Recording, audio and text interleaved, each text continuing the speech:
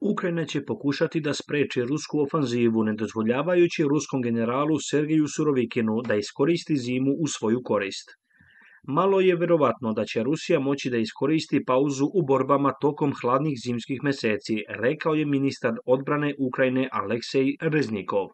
Dok Ukrajina nastavlja sa ofanzivnim akcijama na frontu, vojske obe zaraćene strane suočene su sa brutalnom zimskom borbom, pri čemu se trupe suočavaju sa ledenim temperaturama i teškim vremenom koje preti da drastično pogorša uslove za vojnike.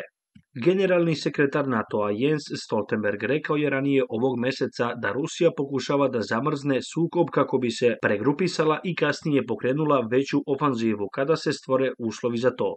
Ruski analitičari su uvereni da će operativna pauza koju Moskva planira da napravi tokom zime ići na ruku ruskoj vojsci.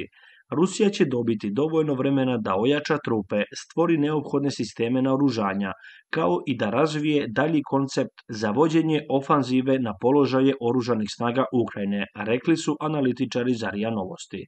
Oni tvrde da general Sergej Surovikin namerava što bolje da iskoristi moguće zamrzavanje ukrajinskog sukoba kako bi što bolje pripremio ruske snage za prolećnu ofanzivu.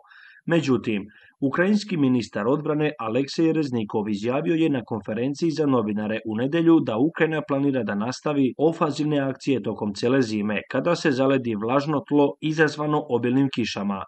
Ukrajinske oružane snage ne razmišljaju o zaustavljanju. Kada tlo postane čvršće, uveren sam da ćemo nastaviti kontranapade, kampanju za oslobađanje naših teritorija, rekao je Reznikov.